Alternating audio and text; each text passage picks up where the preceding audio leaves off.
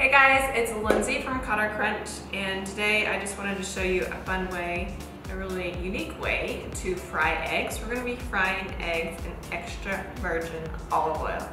I know some people don't really know that you could do that, but I learned from Elena from Colombia, She taught me how to do it.